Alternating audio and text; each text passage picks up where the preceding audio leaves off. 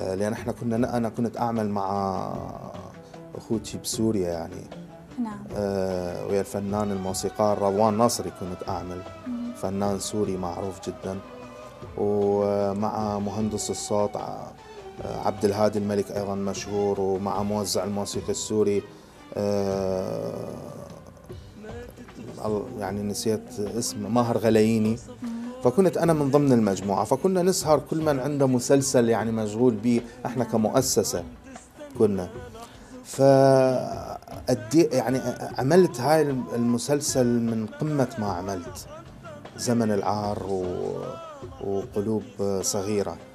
يعني لحد الآن آه، وقت التوزيع ووقت العمل يعني لحد الآن ما يروح من بالي. وهي كانت أعمال درامية يعني. أعمال درامية مشهورة آه. جدا. يعني زمن العار اشترك في مهرجان القاهرة ال- ال- ال- مهرجان القاهرة التلفزيون وقتها ممكن تشرح لنا شنو الفرق بين التلحين والتأليف الموسيقي؟ ال- التأليف آه، هو عبارة عن آه، تأليف قطع موسيقية مدروسة. نعم. التأليف. آه، مثل ما نسمع ال- ال- القطع الموسيقية لكبار آه، ال- الموسيقيين العالميين. طبعا أنا ماذا أقارن نفسي معهم؟ لا بالعكس. آه، أنا مجرد إلا أقدر أعتبر نفسي كقزم يعني قزم صغير جدا. هذولاك الموسيقيين.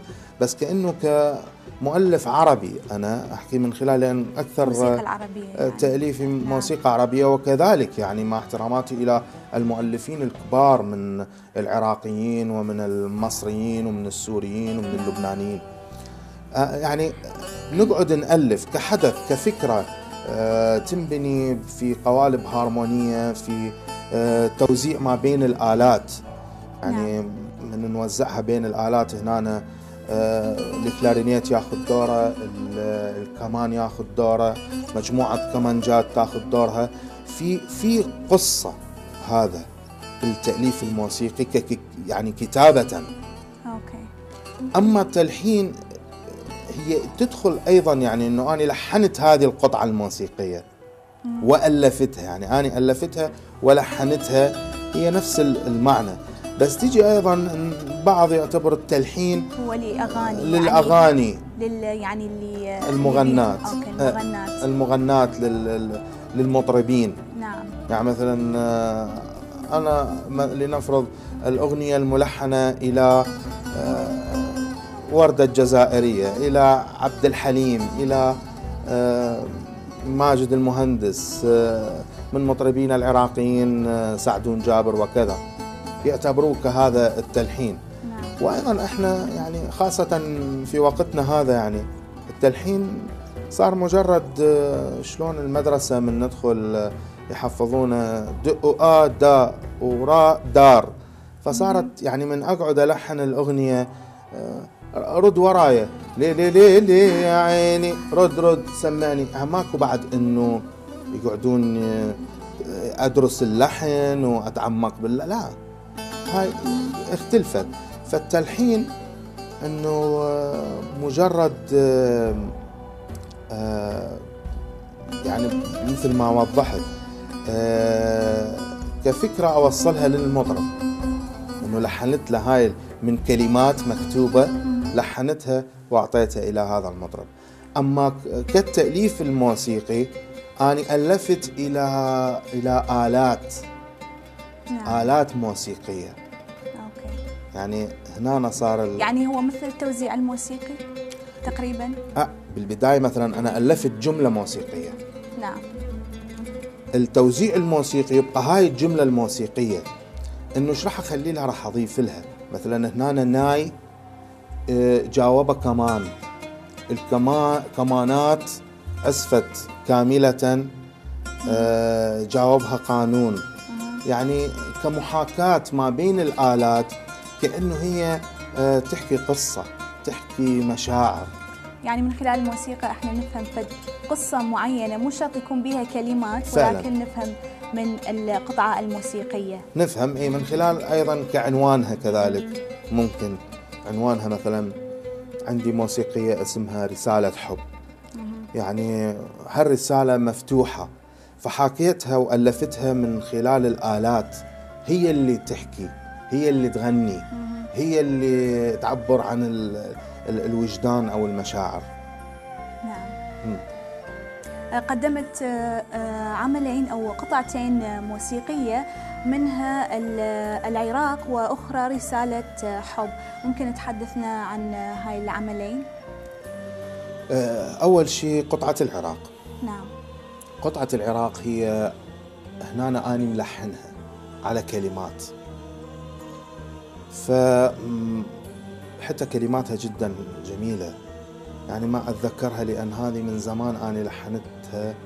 حتى بس أتذكر أنه لجل عينك عرفت الحب وظل مشتاق ويمم وجهي بترابك مع العشاق. وداوي جروحك بقلبي آه، يعني مدى أتذكر آه، بالضبط آه، نعيش إحنا ونموت إحنا فدا الأعراض تنتهي. فما لقيت إنه ممكن منو اللي أجيبه أريد يغني لي إياها. فاضطريت إنه هذا اللحن اللي وضعته أسويه بقطعة موسيقية. إنه آه ولو ما ممكن قطعة موسيقية تحكي عن هذا البلد صاحب الحضارة العظيمة صاحب صاحب صاحب شعب مفكر مبدع في جميع مجالاته.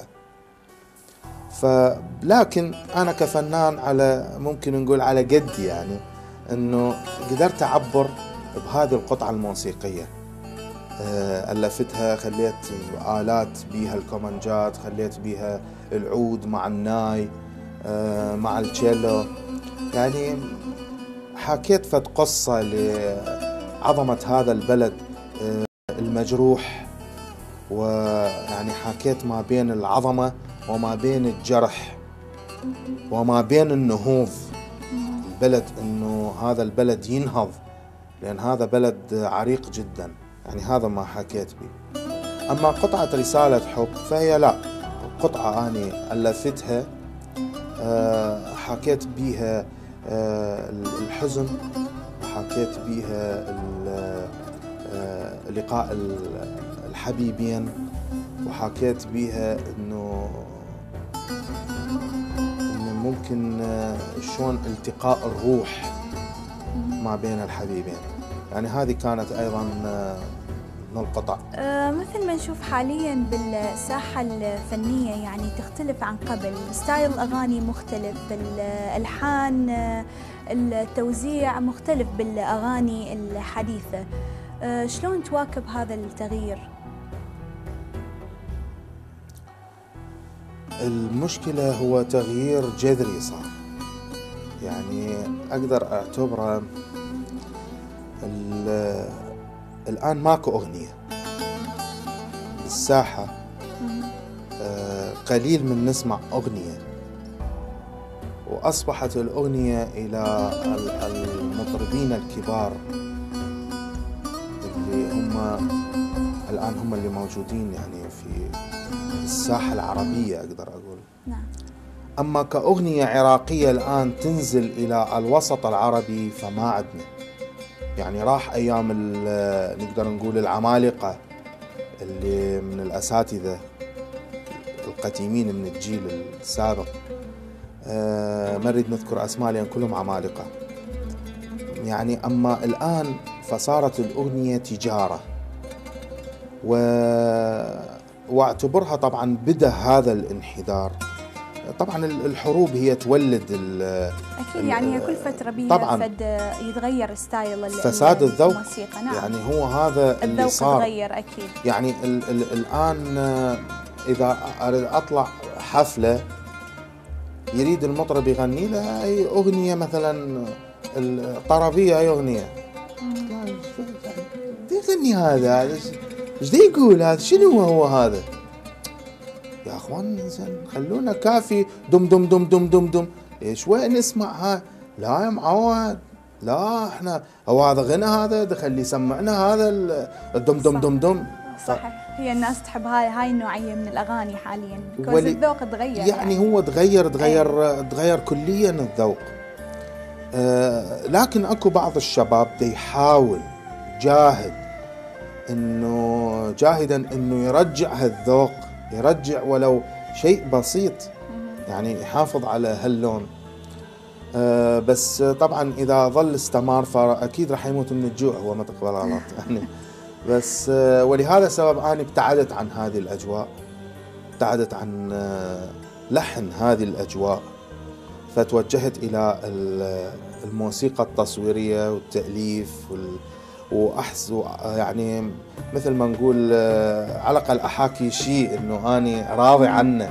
يعني من يطلع العمل الإنتاج الأخير أكون اني يعني راضي إنه مما قدمت هذا الشيء فن بي في بابداع بي بفد شيء يعني ممكن إنه آه، يرضي المستمع العام. لأن راح يضطر هو راح يتفرج على المسلسل راح يسمع.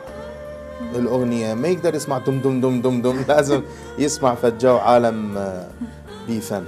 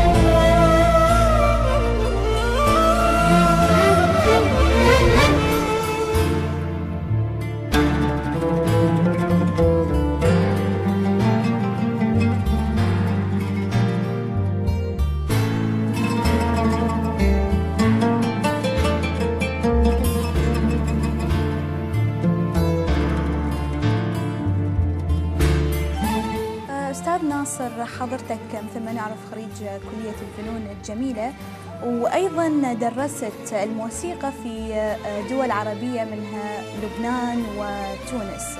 احكينا عن تجربة التدريس. في سنة يعني ستة سبعة وتسعين تقريبا غادرت بغداد وتوجهت إلى تونس. طبعا كنت أنا أعمل حفلات. يعني شفت حتى يعني من بدنا ننتقد الوضع العام بالموسيقى فهي شامله الوطن العربي على فكرة. فتوجهت إلى مسألة التدريس. فوجدت إنه مسألة التدريس آه، مثل ما يقولون بالعامية أسلم لي يعني راحت بالي. وثاني شيء آه، ظليت لفترة معينة إنه باقي بتونس درس وعندي طلاب. وكذا. ومن ثم غادرت إلى لبنان رحت أيضا. جاني يعني عقد أفضل تدريس بالمعهد وبقيت تقريبا ثلاث سنين هناك أدرس. وعندي طلاب وظليت أخذ حتى محاضرات يعني عديدة بالتدريس. فكان توجيهي للتدريس آه، كامل يعني فرغت كل وقتي للتدريس. وتركت الأجواء هذني كلهم آه، أجواء الحفلات وأجواء الغناء. هل هناك إنه آه، مشروع أنه تعيد هاي الفكرة مجددا؟ التدريس؟ إيه إن شاء الله. إن شاء الله قريبا جدا جدا أكو هيجي مشروع إنه نريد إن نسوي يعني مدرسة معتمدة إن ندرس بيها المقامات العربية ندرس أصول الغناء ندرس بيها أنا ندرس بيها السولفيج ندرس بيها آلات. يعني فد شيء إنه أكثر شيء راح تختص بالموسيقى العربية. خالصة تدريس عربي حتى لأن كثير يعني إذا أسمع مطربين ويطلع حفلات لكن لا مقام نظيف لا أداء نظيف. يعني حاولت إنه هاي الفكرة يعني نعرضها إحنا لمجموعة فنانين هنا إنه هاي الفكرة إن نخليها تتنفذ. حتى اولا نقدر آه، ننظف على الاقل ولو شيء بسيط مما اللي دا يصير. وخصوصا إحنا بال يعني بالمهجر نفتقر إلى مدارس آه، للموسيقى الشرقية. فعلا. فقط عندنا يعني بس التركيز على الموسيقى الغربية ومدارس. صح طبعا لأن إحنا ببلد آه، يعني هي الموسيقى أكيد. موسيقى الجاز موجودة لكن تبقى موسيقانا لأن ما شاء الله الجالية الآن بدها تتوسع. ومو بس الجال مو بس العراقيين